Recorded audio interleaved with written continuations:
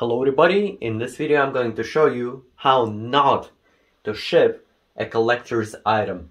So in my case, I purchased an old stock motherboard and a video card, all in open box condition. The motherboard might actually qualify for actually perfectly new, in a perfect condition, but he did test it, so I still consider it open box. I did pay a lot for it, like $300, but it's difficult to find such stuff in Russia. And especially for that cheap, considering the shipping prices all across the world and the fact I can't even purchase things outside of Russia anymore without a huge fee from uh, intermediates. So, here is the uh, box or not a box rather rather an abomination. Holy crap look at this. This is so painful to look at. Why? Why would you make this? Why did you make this dude? This is just horrible. Take a look.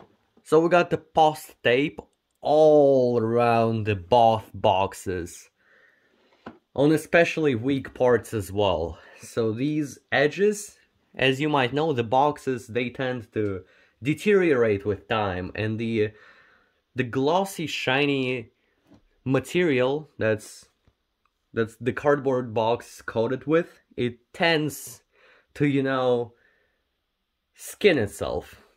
And so they just decided to put tape all around the weakest parts of the box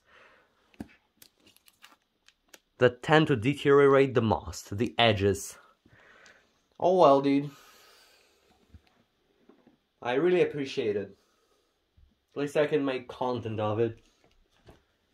So this is a prime example on how not to ship a collector's part. So the next question is obvious. What am I going to do with this thing? How am I going to bring it back to life? How am I going to get this box out unscathed. How am I gonna separate my products? I'm pretty sure there is no way to save the edges, but you know, I'm just going to try it. I'm gonna be as careful as possible, and yeah, let's just go ahead and get it over with.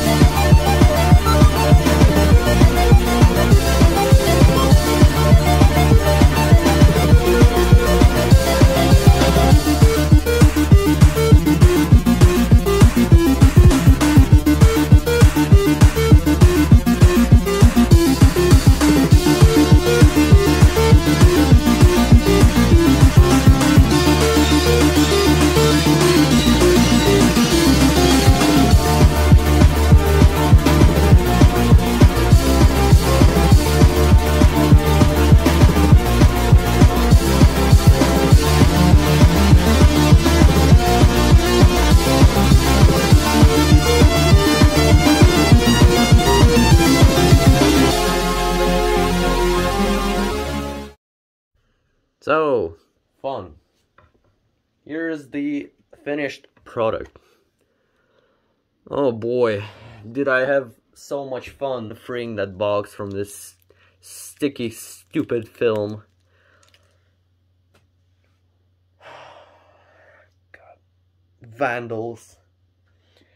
Anyway, let's check this box out. This motherboard, I chose it specifically. It's not just a random choice by your boy. It's it's actually supporting so many processors that you can run anything starting from Windows XP ending with Windows 11.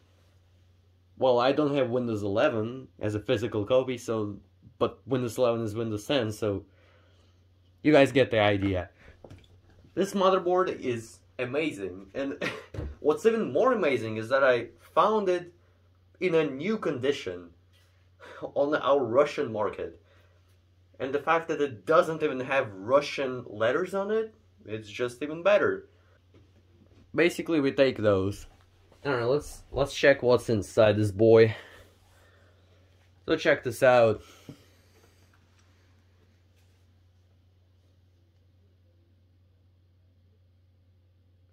We've got lots of information coming in from all different sides, including quad VGA support, quad hardware RAID, quad security, blah blah blah, true 16 phase power. Basically, this motherboard is a motherboard of a power user, and we are power users, am I right? So let's, let's open the box. How do you open it, actually? Oh, you open it from this side. Moment of truth. Oh, what do we have here? We've got not only the old new stock motherboard, we also got four all new. Oh my god, dude. What? Damn. This is a surprise. Uh, oh wait, they aren't all new, but dude, I I almost pissed myself. I, I thought these were completely sealed, but they are in their original boxes.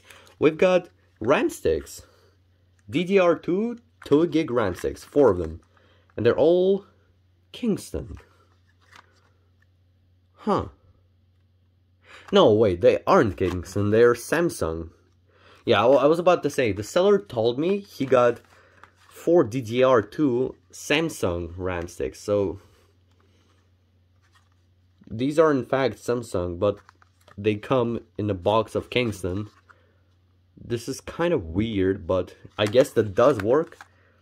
I mean, I, I'll take that. Looks pretty good too. Let's place that all back in, no spoilers. This is going to be a video on my main channel. It's going to star and feature all these components that I just purchased and saved the boxes off. Can you focus, please? Yes. There is the manufacturer seal.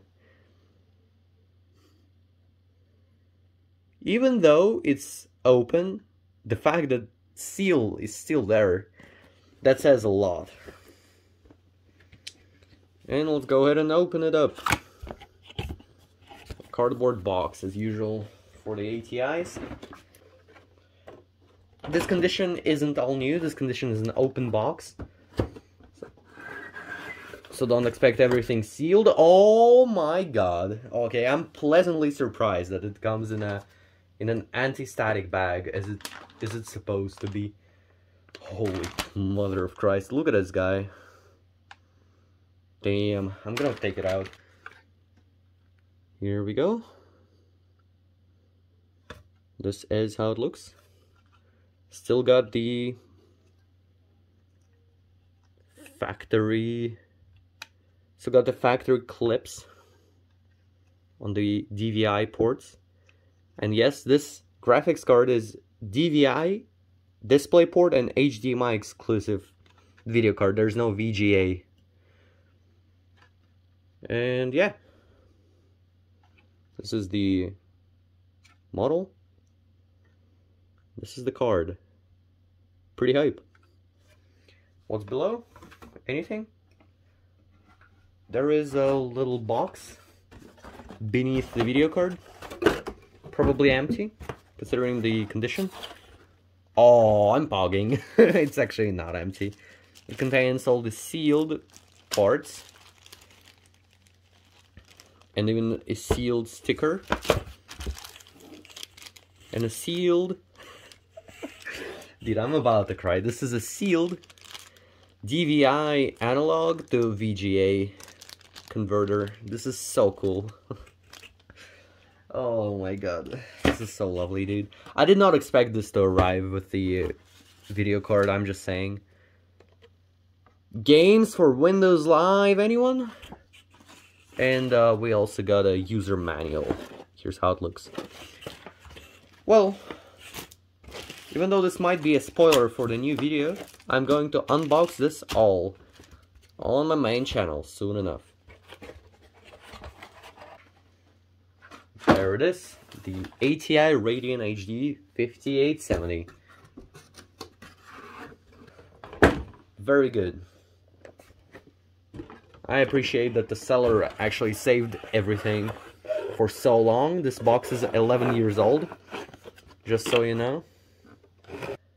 Either way, thank you guys for watching, and thank you for sticking around. We might do more unboxings in the future, but for now, that's all we got. Yeah, that's all I have for you. Take care.